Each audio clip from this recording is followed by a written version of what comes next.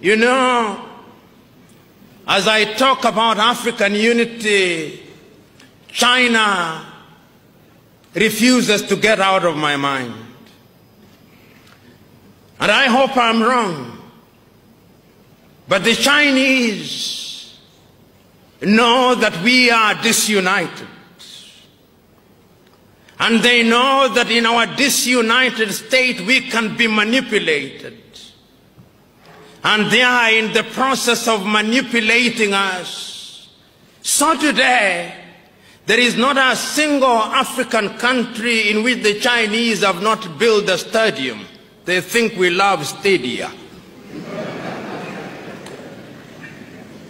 There is not a single African country in which they are not building some roads.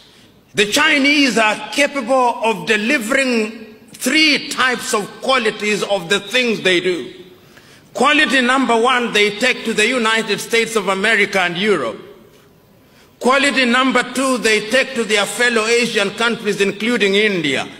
Quality number three, which is at the very bottom, they dump in Africa, and the Africans consume them gleefully.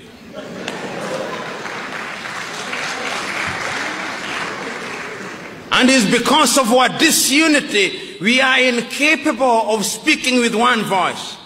You know, many times when I look at Ghana, the Ghanaian president, whom I respect, is invited to Beijing to negotiate with Beijing, as indeed the Kenyan president would be, and the Burundi president to negotiate with Beijing on a bilateral basis. And when they invite African leaders, they humor them complete with guards of honor and 21 gun salutes. So that they think that they are equal. But the Ghanaian economy's GDP is possibly one third of the GDP of the city of Beijing. The Burundian economy is only 2 billion United States dollars which is the same amount that an American professional boxer earns in one year.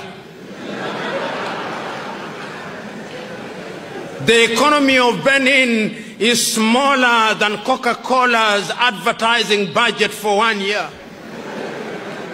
In other words, African economies are Mickey Mouse economies which cannot compete.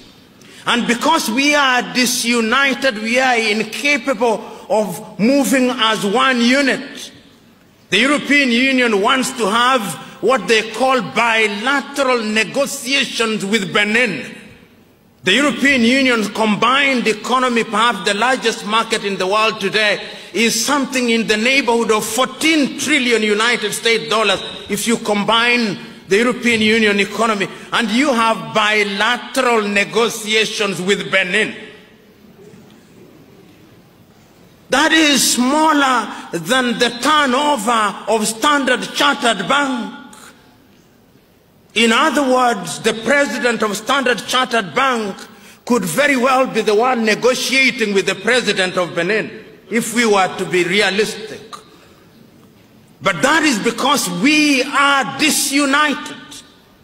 And I'm submitting to us that the only antidote to that is our unity.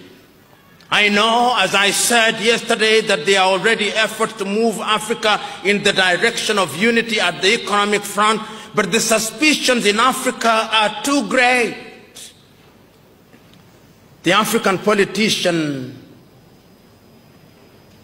is perhaps, with due respect to them, Africa's curse.